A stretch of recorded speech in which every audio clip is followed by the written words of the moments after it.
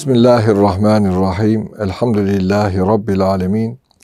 Ve salatu ve selamu ala Resulina Muhammed ve ala alihi ve sahbihi ecmain. Erkam Radyomuzun değerli dinleyenleri, aziz dostlar, İslam ve Hayat programında Nurettin Yıldız hocamla beraberiz. Yüce Rabbimiz İslam'la aziz olanlardan İslam'ı hayatlarının mihverine, kıblesine koyarak o yolda istikamet üzere yürüyenlerden eylesin hepimizi. Amin. Hocam hoş geldiniz. Hoş buldum hocam.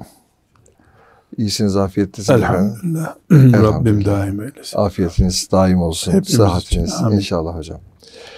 Hocam bugün şöyle bir e, konuyla inşallah e, dinleyicilerimizle buluşalım arzu ediyorum. Tabii bir Müslümanın hayatında e, efendim hizmet diye ifade ettiğimiz kavram çok önemli bir yerde duruyor. Neden önemli yerde duruyor? Çünkü Müslüman sadece kendisi için yaşayan bir insan değil. Elbette e, Allah'ın diğer kulları hatta diğer mahlukatına yönelik sorumlulukları var, vazifeleri var. Adeta ihsan insanı olmak ki Kur'an bazen buna hani muhsin insan da der. E, bir yönümüz hakka teslimiyetse dinimizin, tazim ve teslimiyetse diğer yönümüz de onun mahlukatına e, hep güzellikler sergileyen bir kişilik hale, haline dönüşebilmek belki. E, bu yönüyle bugün biraz hizmeti konuşsak. Tabii hizmetin belki birçok boyutları var. Hani anne babaya hizmetten başlasanız ayrı uzun uzun konuşmamız gerekir. Belki mahlukata hizmetten e, başlasanız çok farklı e, derinliklere girmeniz gerekebilir. Belki biraz Allah'ın dinine e, hizmeti öne alarak bir çerçeve mi sunsak diye aklıma öyle geliyor doğrusu. Gerçi gönlünüze Mevlamız ne taraftan başlamayı ilham ederse oradan devam edelim efendim. Bismillahirrahmanirrahim. Bir kere hocam La ilahe illallah Muhammedur Resulullah dedik. Elhamdülillah. O yoldayız. Elhamdülillah. Bize göre her şeyin bir farzı var. Bir müstehabı var. Evet. Farz dururken gerisinin bir anlamı yok. Evet. Şimdi anaya babaya hizmet dedik ya. 7 milyara tek tek çay ikram etsek. Ayakkabılarını temizlesek. Anneye yapılacak hizmete muadil olur mu Allah katında? Demek ki e, hizmet arasında böyle bir hiyerarşi var. Dehşet. Yani diyelim ki dünyadaki bütün güvercinlere buğday dağıttın. Hatta hep hadisle benzetme yapılıyor diye köpeklere de su içirttirdin. Kuyular kazdırdın köpekler su içsin diye. Annene yapman gereken hizmeti ihmal ettin. Allah katında kurtarıcı mı bu? Farz var, farz olmayan var. Demek ki hizmetin farzı olanı var, müstahap olanı var. Farzın ayn olanı var. Senin sırtında bu. Kifayesi var. Belediyenin yapacağı işi yapmışsın sen. Farz-ı kifayesi bu. Bu tasnifi yapmadıkça kendimizi aldatırız hocam. Evet. Yetim çocuklara hizmet etmek baş tacı bir iş. Kendi çocuğunu yetim bırakarak değil ama. Ha bir de o var. Yetimlere hizmet edeceğim diye kendi çocuğunuzu Kendi çocuğunu internete kurban ediyorsun. Baba görmüyor aylardır. Ama hizmet ediyorsun sen yetimlere. Yani kendini kurban edip başka kurbanların e, değerlendirilmesi Müslümanca değil. Bir farz. O farzın içinde farz-ı ayn, farz-ı kifaye uyumu olması lazım. evet. Öbür türlü insan Rabbinin rızasına değil kendi ihtirasına hizmet eder. Biz yaptığımız işlerin tamamının ne kadar Allah'tan bize dönüşümü olacak ona bakarak kıymet vereceğiz. İstanbul sokaklarında kedileri toplamak ve onlara ciğer dağıtmak kesinlikle bir hayır iştir. Ama bunun sırasını da bilmek gerekiyor. Evet. Bunun bir sırası olması lazım. Yani bir insan kesinlikle Allah'ın mahlukatı olan her şeye e, hadisine buyuruyor. Tabii. Ciğeri olan her şey Tabii. Ağacı sadakaya sadaka yani. Evet. Ağaç da bırak yani köpeği ağaç için bile geçerli. Fakat modaya uyarak akıma takılarak yaptığımız iş var. Bizim Rabbimizin rızasına ve şeriatına uyarak yaptığımız iş var. Evet. İnsanın ihmal edildiği hiçbir iş kıymetli değil. İnsanla hayvanı karşılaştırıyoruz. Hayvan bir üst yukarı çıkıyor, insan aşağıya düşüyor. Kıymetli değil. Sanki bugün böyle bir alabora var değil mi hocam? İnsanlıkta bazen- alabora var. İnsanlıkta, Doğru. evet. İnsanlıkta kulluğu alabora ettiğimiz için, kulluğa şekil vermeye çalıştığımız için, yani bizim istediğimiz gibi bir ibadet çeşidi oluşturduğumuz için, cennete girme standartlarını biz belirlemeye kalktığımız için böyle bir sorun çıktı Evet. karşımıza. Birinci ölçeğimiz insan hep önde olacak. Evet. Sonra hayvan gelecek. Hayvanlar arasında da bir sıralama olacak. Hiçbir şekilde koyun köpekle denk değil. Hiçbir şekilde tavuk kediden aşağı değil.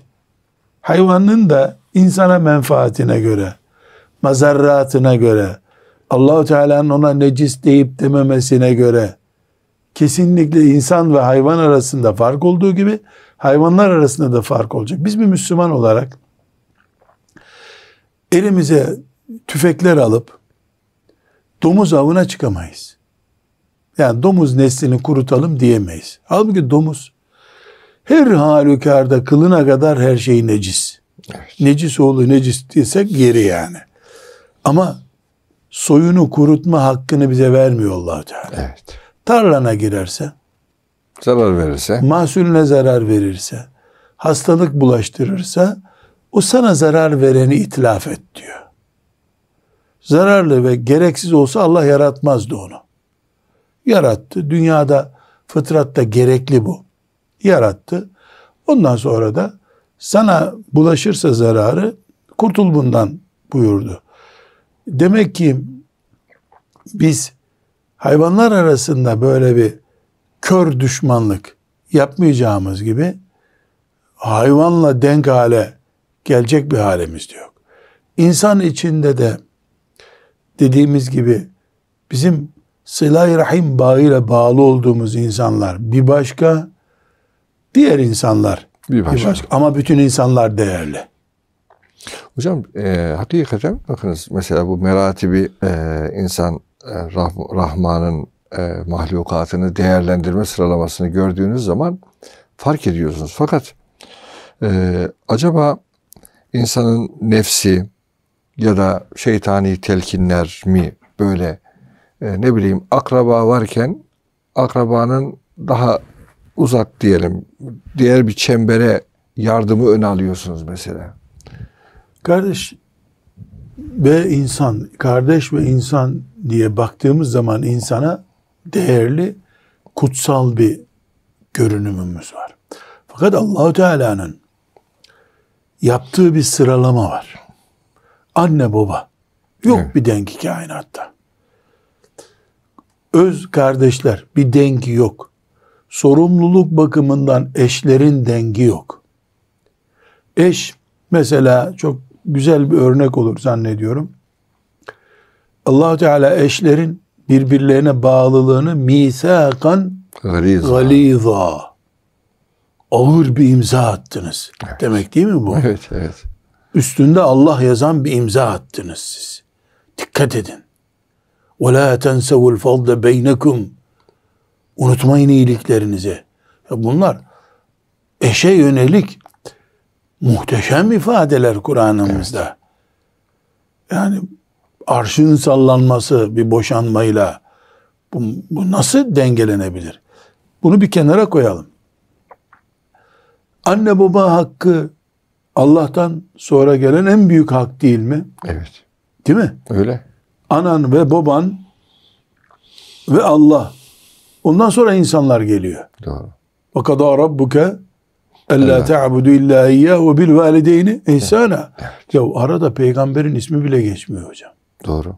Ne muhteşem bir şey. Evet o Allah'a imanın e, geçiyor ayrı bir mesele ama sıralamada ana baba Allah'tan sonra geliyor. Velev müşrik bile olsa. Değil mi? Böyle mi Evet, bu öyle, kural öyle. hocam? Tabii. Bunda bir tereddüt filan mezhebe göre böyle değil.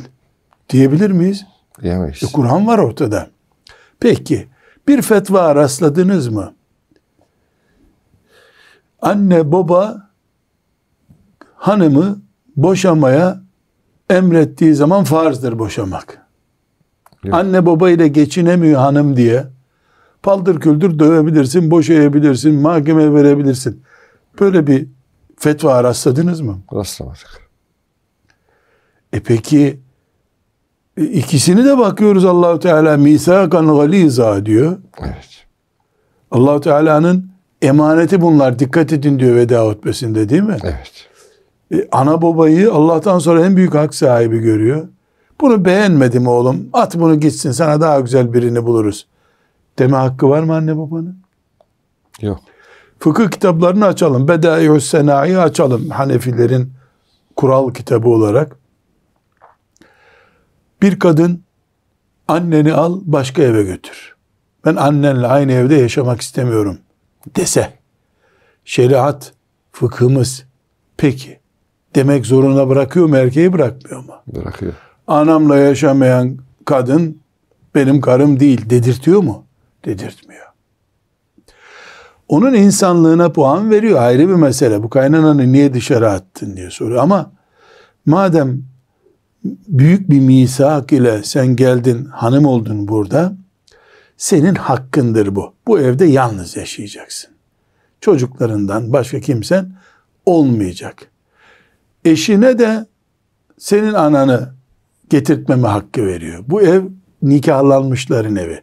Ama anneye ve babaya da madem biz burada 6 ay kalamıyoruz bu yuvanız da dağılsın deme hakkı Vermiyor. ve bütün yüceltmelere rağmen bütün yüceltmelere rağmen bundan ne anlam çıkıyor? Şu. Her yeri bir dengeyle oturtmuş allah Teala. Analığa babalığa bir ağırlık vermiş. Kendi içinde muhteşem bir özgür ağırlığı var. Allah'ın hakkından sonra geliyor. Cennetin önünde büyük bir barikat olarak baba anne bekliyor.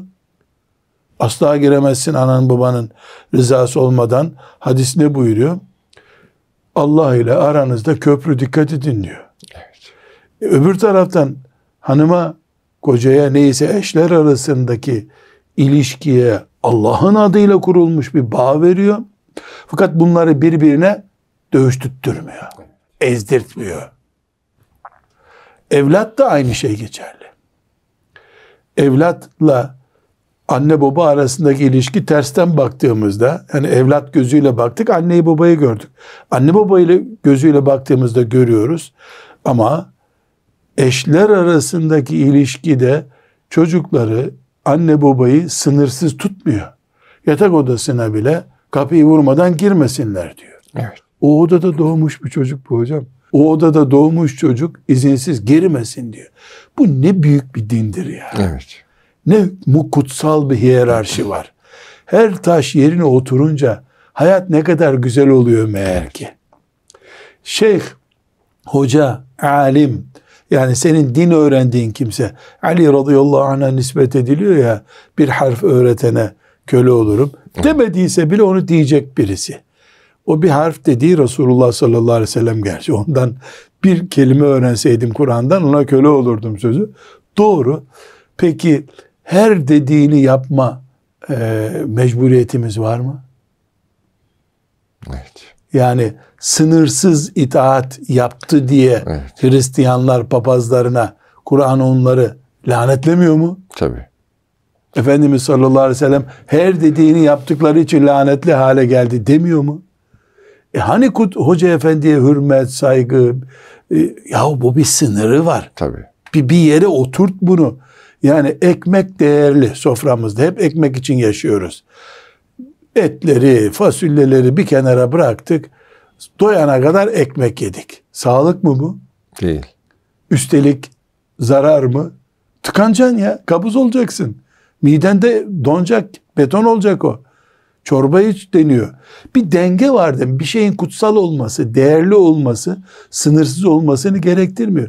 Resulullah sallallahu aleyhi ve sellem Efendimiz başımızın tacı, hayatımız, kurtar, her şeyimiz değil mi? Evet.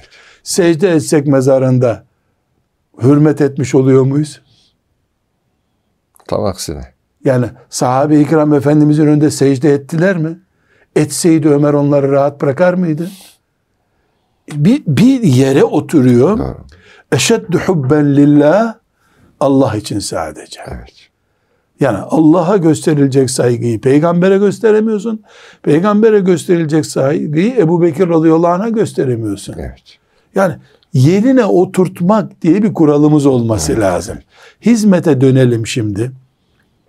Hizmetimiz bizim evvela kendimize olmalı. Sağlığımıza yani sağlığına hizmet edeceksin. Ayakta duracaksın ki e, başkasına hizmet etme imkanın olsun. Hani bir yangında ilk kurtarılacak şeyler var. Uçak düşmeden önce yapılacak ilk şeyler var. Önce kendin bir maske tak, gaz maskesini tak, bir hayatta kal sen. Evet. Mesela bir uçakta önce pilot mu güvenlikte olmalı, 300 yolcu mu? Pilot. Vefasızlık değil mi bu yolculara karşı? Değil. Çünkü o uçakta başka pilot olmayacağına göre pilot kurtulmadıkça hiç kimse kurtulmayacak. Pilot kurtulursa belki yumuşak iniş yapacak da 5 kişi kurtulacak 300 kişiden. O zaman bencillik değil pilotun yaptığı. Evet.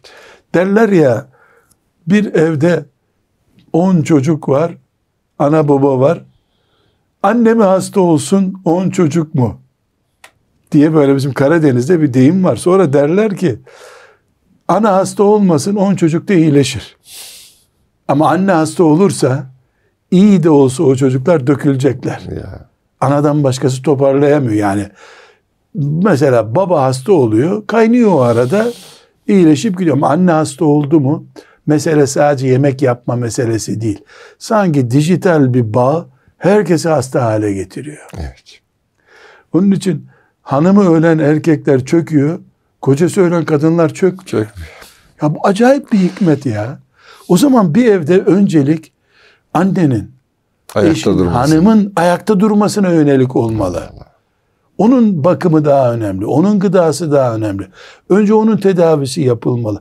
Bu bize mantığımızda da söylüyor. Yani dine gerek kalmadan akıl da bunu söylüyor. Tıpkı bir evin önce kolonları mı sağlam yapılmalı, camları çerçevesi mi sağlam yapılmalı? Belli ki kolonlar. Ayakta tutan onlar çünkü. Çerçeve olmadı bir kağıt sıkıştırırsın, rüzgar gelmez. Bir bez sıkıştırırsın. Ama kolana bez dayayamıyorsun. Çöküyor. Bu e, düzeneyi kurmadığımız zaman ibadette de sorun oluyor zaten. Namaz yok, oruç yok. Bol bol ineklere yem dağıtıyorsun. Yani böyle bir ibadet yok ki. Kaldı ki ineğe hizmet etmek bir sevap. Evet. Ama namaz kılanınki sevap.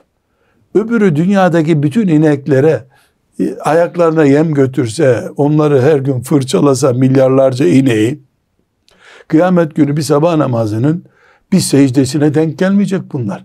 Sevap olabilir ama sevabın da kendi içinde bir özgül ağırlığı var. Bu sebeple hizmet ehliyiz şüphesiz. Hanımımızın doğum şartları oluşmuş.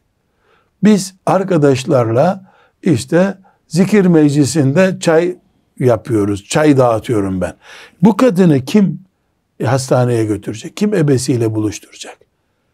Yani hanımının hasta, lo- lohusa, doğum gibi şartlarında arkadaşlara hizmet etmek, Afrika'ya gidip orada kuyu açtırmak bir ibadet çeşidi olamaz. Aynı şekilde kocasının kahır çektiği günlerde bir kadın arkadaşlarıyla Yasin meclisine gidemez. Yasin okunmak yani yapılacak en şerefli iş. Sevap deposu. Ama adamcağız burada kahır çekiyor. İşte hastalıktı, morale ihtiyacı var. Ne bileyim bin bir hali var dünyanın. Erkek de olsan çöktüğün bir gün olur. Kadının başında olmasını istersin. O gün bizim Yasin toplantımız var arkadaşlarla, zikir meclisimiz var. Hayır bu sıralama çok yanlış. Fakir fukaraya işte e, ayakkabı dağıtacağım. Yanlış bu sıralama. Bu bir ibadet doğru. Yetim çocuklara elbise dağıtmak, ayakkabı dağıtmak, saçlarını okşamak. Peygamber aleyhisselamın emriyle, Kur'an'ın emriyle bu bir ibadet. Ama e, sen aileni çökertiyorsun. Gittiğin yer yanlış. Burada e, toplumumuza yön veren sivil toplumdan kardeşlerimiz Allah razı olsun geliyorlar. İşte ne tavsiye ediyorsun, ne ediyorsun diyorlar. Bazılarına e, tamamında bunu görmüyorum. Programlarını dinliyorum. Ne yapıyorsunuz, ne ediyorsunuz diyorum.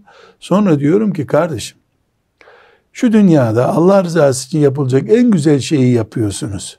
Afrika'da yetim çocukları doyuruyorsunuz. Orada Kur'an-ı Kerim dağıtıyorsunuz. İmana davet ediyorsunuz. Allah sizden razı olsun. Ancak, ancak kendi bulunduğunuz semt imansızlığa kurban giderken burada dul kadınlar rezil hayata düşmek tehlikesi yaşarken Afrika size caiz değil. Caiz bile değil. Evet. Kitaplarımızı açtığımızda fıkıh kitaplarımızı zekatı elde ettiğin yerde mi vermek lazım? Mesela burada sanayim var. Diyelim koca elinde sanayi tesisim var benim. Buradan bu parayı kazandım. Burada mı zekatımı vereyim? Afrika'ya mı götüreyim? Uzak şehire mi götüreyim? Hatta değil Afrika. Kendi yan şehrin Sakarya'daki bir fakire mi götüreyim? Sorusunda muhakkak götür asla yok kitaplarda. Götürebilirsin tabi de yok. Olabilir bir bakalım tarzında fetvalar var. Evet. Neden? Allah bu malı buraya verdiyse önce buradaki garibanın gözünün doyması lazım bu işten. Evet. Ya bunu bu denge. E kitaplarımızda haramdır götürülmez diye bir şey yok. Ama sanki denkmiş gibi burayla orası da yok. Evet. Burada Yani- doğru dürüst fakir yok. Hatta buradakiler mesela yiyecek buluyorlar da fasulye bulamıyorlar, ekmek buluyorlar sadece. En azından bu var. Orada ekmek bulamayanlar var. Haydi hay tırlara götürür götürürüz. Tırlarla doldurur götürürüz ama burada oradaki gibi fakir varken yanlış bu. Sıralama hatası yapmış oluyoruz. Yani hocam hakikaten eee, demek ki şöyle anlaşılıyor. Din e, bir basiret üzere, bir ilim üzere, bir hikmet üzere eee, bir hayat nizam ortaya koyuyor. Belki bu nizamı keşfetmek, bu nizama göre bir hayat düzeni tanzim etmek, ortaya koymak adına hocalarımıza da çok iş düşüyor. Yani her insandan böyle bu kadar hani bahsediyorsunuz bakınız ehem mühim sıralaması diyoruz ya da ev hangisi evvel hangisi sonra diyoruz. Ee, bu noktada belki yeni yeni ilmihallere ilmihal kitabı gibi e, kitaplar yazarak insanlara e, her alanda birçok alanda e, bunlara hatırlatmak gerekir acizane kanaatim. Duygusal ve olaya bağlı bir görüntü e, oluştuğu zaman bu yanlış oluyor. Bizim fıkhımız var. Evet. Şeriatımız var. Bir de belki şöyle hocam tabii herkes e, bu derece bahsettiğiniz tarzda hayata böyle bakıyor mu ya da bakma bilgisine sahip mi? O zaman şöyle de bir şey hatırıma geldi doğrusu. E, insanın hani sonra sonra bir hayat sürmesi en azından aklı başında ilmine güvendiği kişilerle yapacağı bir takım hayır, iyilik, hizmet neyse adını ne dersek diyelim. e, bunlarla ilgili doğru mu yapıyorum? Buradan mı başlamalıyım? Anlamında yine istişareler etmesinde büyük Ve fayda var. emruhum Be, şura, şura beynehum. Evet. En azından da üç kişiyle şura olur. Evet. Şimdi Avrupa'dan kardeşlerimiz geliyor görüyorum. Böyle İstanbul'a geldik sana bir uğrayalım diyorlar. Nereye gidiyorsunuz diyorum. İşte Nijer'e gidiyoruz diyorlar. Ne yapacaksınız? Bir kişi. Yanında da hanımı. Nijer'de hayır yapacağız. Oradaki arkadaşlarından paraları toplamışlar şu kadar bu kadar. Nijer'i biliyor musun sen? Havalandan indikten sonra ilk gördüğün baraka eve gireceksin, elindeki parayı vereceksin. Bunu bir Hristiyana mı vereceksin, bir ateiste mi vereceksin? Daha fakiri varken sen onu mu vereceksin? Alıp onu senden şurada burada rezillikte kullanacak birine mi vereceksin? Niye oradaki biriyle istişare etmeden bunu yapıyorsun? Evet, şey güzel, niyet güzel ama yöntem güzel değil. Evet. Dolayısıyla hizmet erbabının bireysel hareketinde sorun var hocam. Evet. Mesela bugün Gazze e, diye bir sorunumuz var. Cihadımız var. Rabbim ümmetimizin izzetine vesile kılsın Amin, amin. Gazze'yi. Bu neden biliyor musunuz hocam? Gazze 100 senedir öyle zaten. 1917'den beri Gazze öyle. Evet. Çok fazla çocuk fotoğrafı geldi bize oradan. Ölü çocuk fotoğrafı. Yıkık enkaza dönmüş bina fotoğrafı geldi. Bu sene kurbanlar oraya, sadakalar oraya, Ramazan'da hep oraya verildi. İddialı gibi bir cümle söyleyeceğim. La kadderallah. Rabbim uzak etsin. Ümmetimizin başka bir yerinde başka bir facia olsa oradan daha çok ölü çocuk fotoğrafı gelse, bebek fotoğrafı gelse Gazze unutulur o zaman. Niye? Çünkü Gazze 1917'deki elimizden çıkışından kaynaklanan bir acıdan çok fotoğraflardan dolayı duygusallık veriyordu bize. Daha duygusal fotoğraflar görürsek oraya kayacak. Bu doğru mu? Yanlış. Yanlış. Yani bu da nereden kaynaklanıyor? İlim meclislerinde oturup ulemamızın Gazze'yi değerlendiren anlayışından ziyade işte basından, sosyal medyadan duyduklarımız, gördüklerimiz etkiledi bizi. O etkileşim imanımızla birleşti. Bu çıktı. Bu yanlış değil şüphesiz. Ama dengeli de değil. Evet. Evet. Birisi başka bir fotoğraf çıkarsa işte Gazze'liler de 7 tane Yahudi çocuğunu öldürmüşler diye uyduruk bir yapay fotoğraf üretseler Nitekim daha önce yaptılar biraz. yapmadık Yahudinin yapmayacağı bir şey değil lanetli kavim. Yani o zaman biz e, sevgimizi ve alakamızı mı azaltacağız? Değil mi? Bu sebeple bir şura meclisiyle hareket, velev ki basit bir iş olsun. Evet, milyarlarca büyük bir serveti taşırken 20 kişilik bir şura eğitim olur. Bir beş tane inek kurban etmeye giderken de üç kişiye sorarım. Bunların bir tanesi kesinlikle fıkıh bilmeli. Evet. Dediniz ya bir ilmi alim, fıkıh bilen biri olmalı. Bu fıkıhçı da yetmez. Dünyayı tanıyan birisi olmalı. Evet. Mesela sizler e, işte üç ayda bir en azından yurt dışına çıkıp e, inceliyorsunuz. Oradaki ihvanı görüyorsunuz, geliyorsunuz. E, diyelim fıkıhta 20 puanlık birisiniz. Bir, birisi de fıkıhta 80 puanlık birisi. Ama hiç yabancı ülkeye gitmemiş. Orada Müslümanlar nasıl yaşıyor bilmiyor. Her yeri İstanbul ve Konya gibi zannediyor. Yani ilim başka bir mesele. Dünyayı değerlendirmekte fıkıhtan dolayı bir üstünlüğü olabilir mi bu hoca efendinin? Olmaz. Tabii. Yani belki siz ben daha az bilgimiz olmasına rağmen yani oraya gidin mesela oraya götürmeyin makarna kardeşim adamlar pişirmeyi bilmiyorlar diyecek biri lazım bize. Evet. Oraya çocuk bezi götürmeyin. Çocukları zaten bezlemiyorlar. Köyde çocuk bezlemek ayıp bir şey.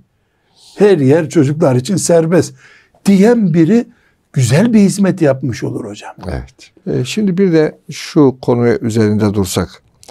Ee, gerçekten bir insanın hizmet heyecanı için, içinde olması, hizmet şuuruna sahip olması, e, sadece şu dünyada hani kendine hizmetle değil de aynı zamanda etrafını da görüp gözeten birisi olması ne kadar önemlidir.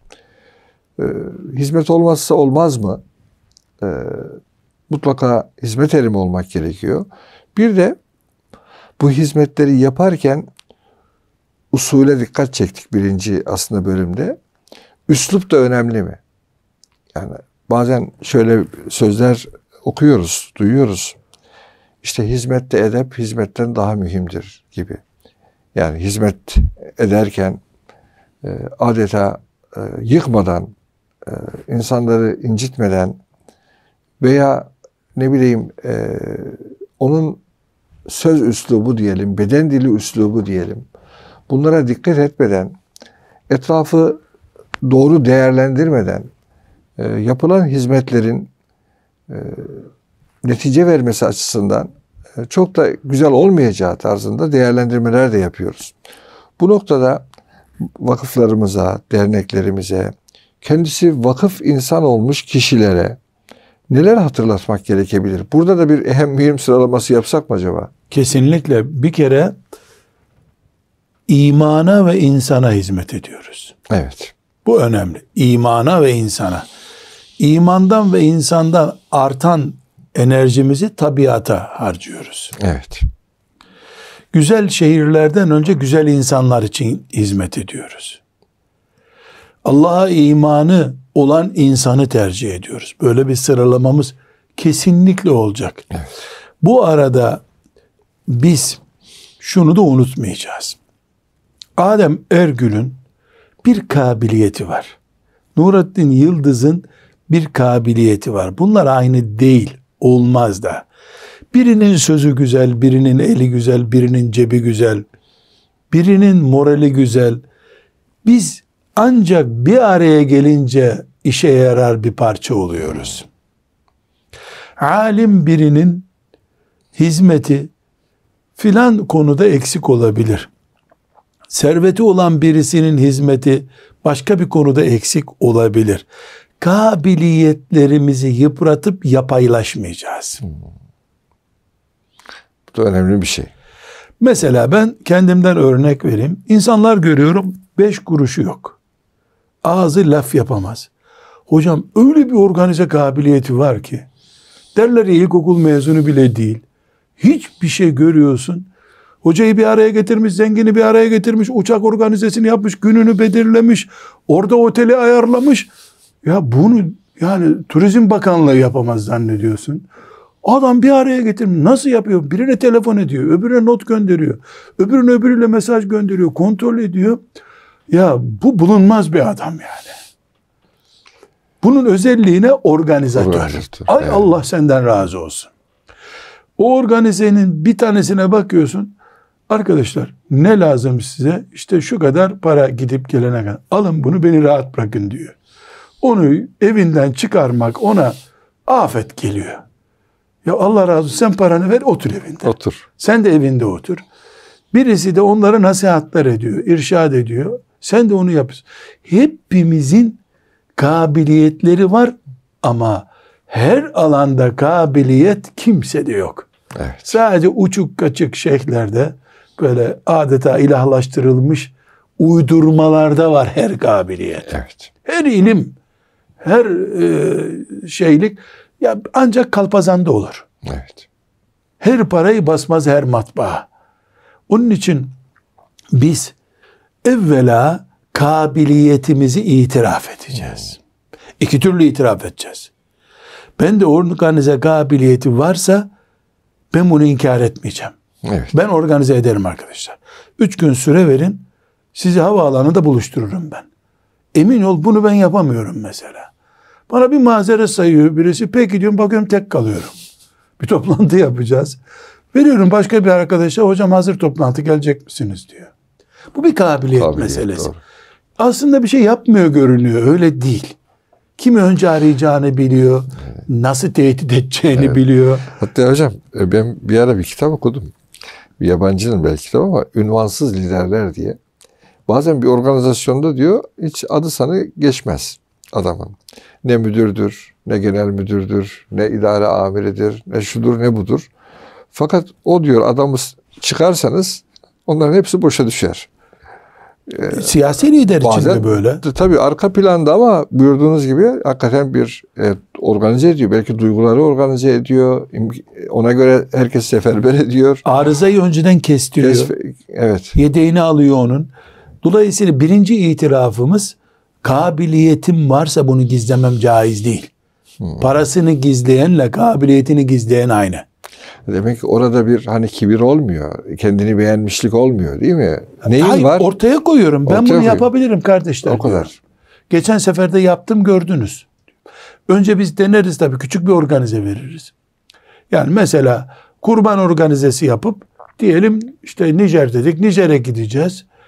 Buradan çıkan arkadaş orada kasap ayarladın mı sorusuna orada bir bakarız diyor. Bu organizatör değil. Evet. Bu iletişim çağında yani sen orada kasabı da bıçağı da ayarlamış olman lazımdı. Kurban bayramı günü bana kasap arıyorsun sen. Dolayısıyla birinci itirafımız kabiliyetimiz varsa bunu söyleyeceğiz. Ben buyum, Evet. hazırım. Benden başkası yapamaz demiyorum. Bana görev vereceksiniz. Benim verebileceğiniz görevim budur. Bunu gizlemek suçtur. Neden? Parasını gizleyene Allah'tan kork niye para vermiyorsun diyoruz. Kabiliyetini gizleyene de bunu söyleyeceğiz. Evet. Bir kardeşimizin sulh etme kabiliyeti var. Saatlerce dinliyor. Gazlarını alıyor herkesin. Bu iş böyle hallolur diyor. Çekip gidiyorlar. Halloluyor. E bu bir kabiliyet. Evet. Öbürü sulh etmek için gidiyor. Üçüncü kavgalı kişi o oluyor bu sefer. Beceremiyor. İkinci itirafımız ben öbür işten anlamam. Bunu da itiraf etmek lazım. Yani var olanı da itiraf edeceğiz. Yok olmayanı da itiraf edeceğiz. Güzel. Tıpkı param yok dediğim gibi arkadaşlar ben sabırlı adam değilim. Bağırır çağırırım yani sinirlenirim. Bu görevi başkasına verin. Demek lazım. Bu ayıp kayıp değil. Bu itilmişliği de gerektirmiyor. Çünkü ben kabiliyetimle geldim. Yani şu bir bardak hocam. Evet. İbrik değil ama. Sürahi değil bu. Hadi ibrik yabancı oldu şimdi. Dolayısıyla bundan su dökmek çok zor. Ama sürahiden daha kolay. Evet. Bu bardak çıkıp da ben su da dökerim öyle bir özelliğim var dememeli. Sürahiyle de su içilmiyor ne hikmetse.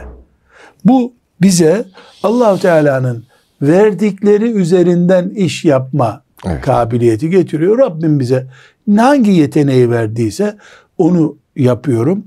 Bu bir.